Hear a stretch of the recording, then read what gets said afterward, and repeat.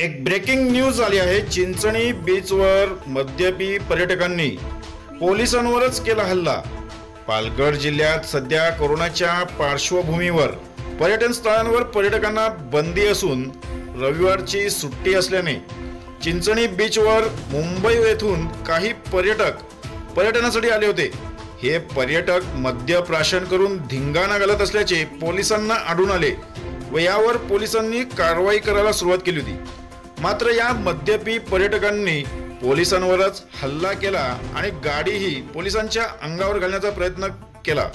तर हा संपूर्ण प्रकार समोर आल्यावर पोलिसांनी तीन आरोपींना ताब्यात घेतले होते. तर वाणगाव पोलीस ठाणे अंतर्गत चिंचणी पोलीस दूरक्षेत्रात या तीनही पर्यटकांवर गुन्हाही दाखल करण्यात आला आहे.